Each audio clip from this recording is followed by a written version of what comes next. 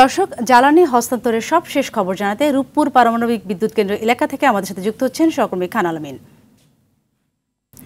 আলামিন, দেশের প্রথম একক মেগা প্রকল্প রূপপুর পারমাণবিক স্থাপনাকে কেন্দ্র করে জ্বালানি হস্তান্তরের আনুষ্ঠানিকতা কি কি থাকছে?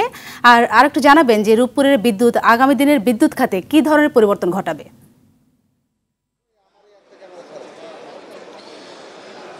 যে ইউরেনিয়াম এসেছে গত ছাব্বিশ উনত্রিশ সেপ্টেম্বর, সেই ইউরেনিয়ামই আজকে হস্তান্তর করা হবে এবং এর মাধ্যমে বাংলাদেশ বিশ্বের যে তেত্রিশটি ইউরেনিয়াম সমৃদ্ধ দেশ রয়েছে, তার ক্লাবে যুক্ত হবে। সেই আনুষ্ঠানিকতার জন্য এখন অপেক্ষা।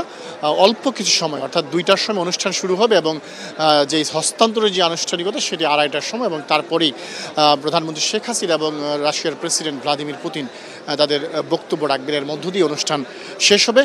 জানিয়ে রাখি, এই যে, এটি প্রথম চালান এসেছে উনত্রিশ সেপ্টেম্বর এবং দ্বিতীয় চালান আজকে চলে আসছে রাশিয়া থেকে বাংলাদেশে, সেটিও আমরা জানতে পেরেছি। একটু যদি বলে রাখি, এই হচ্ছে, এটি হচ্ছে চব্বিশশো মেগাওয়াট উৎপাদনের একটি বিদ্যুৎ কেন্দ্র, যেটি বাংলাদেশের সবচেয়ে বড় বিদ্যুৎ কেন্দ্র হিসেবেই এটি বাস্তবায়িত হচ্ছে। এর আগে সবচেয়ে বড় বিদ্যুৎ কেন্দ্র ছিল পায়রা এবং রামপাল যেটি তেরোশো মেগাওয়াট করে উৎপাদন করার কথা রয়েছে। আর এটি হচ্ছে চব্বিশ, অর্থাৎ প্রায় দ্বিগুণ উৎপাদন করা হবে।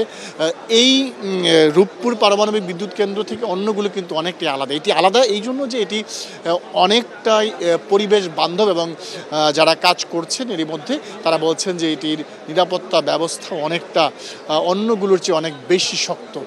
তো সেই জায়গা থেকে এবং পাশাপাশি আরেকটি বিষয় হচ্ছে যে এটি অনেকটা সাশ্রয়ী বলা যায়।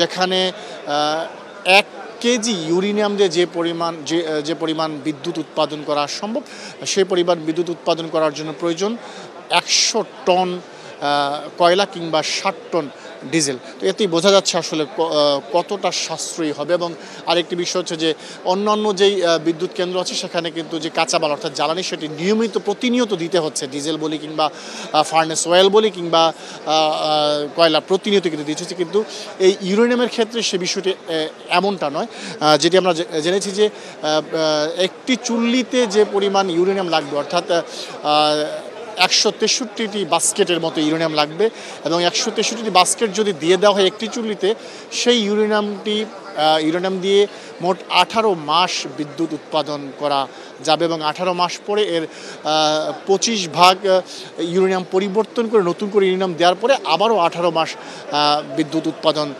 সম্ভব। তো সেই জায়গা থেকে আসলে এই যে প্রকল্পটি সেই প্রকল্পটি বাংলাদেশের জ্বালানি খাত কিংবা বিদ্যুৎ খাতে এক ধরনের বড় পরিবর্তন নিয়ে আসবে। বাংলাদেশের একশোটি বিশেষ অর্থনৈতিক অঞ্চল করার যে আলামিন আপনাকে অসংখ্য ধন্যবাদ। আপনি সেখানে থাকুন। পরবর্তী তথ্যের জন্য আমরা আবারও আপনার সাথে যুক্ত হব। দর্শক পাবনা রূপপুর পারমাণবিক বিদ্যুৎ কেন্দ্র এলাকা থেকে আমাদের সাথে যুক্ত ছিলেন খান আলামিন